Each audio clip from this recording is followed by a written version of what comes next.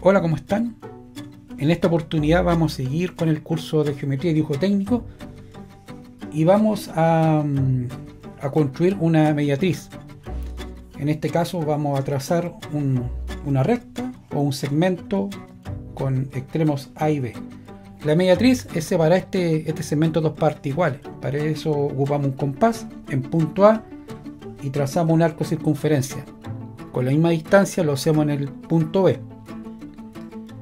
Este arco circunferencia se van a intersectar en dos puntos que lo vamos a llamar E1 y E2.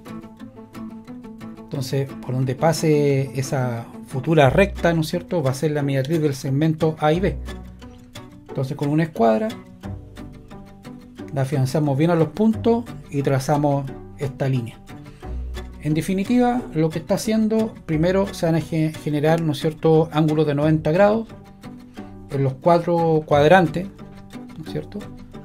Y también lo que está pasando, que los segmentos eh, van a ser iguales, o sea, el segmento de intersección de esta la cruz, ¿no es cierto?, es igual a un lado para otro. Ahí lo identifiqué con dos líneas paralelas.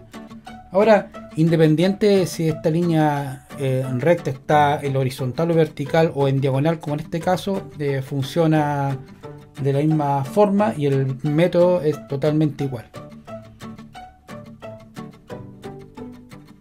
Ahí trazamos nuestra, nuestra línea. Y ahí tenemos nuestra mediatriz de un, de un segmento A, A o B donde los, ahí se puede ver también que las distancias son iguales. Bueno, y eso sería todo. Gracias por su atención.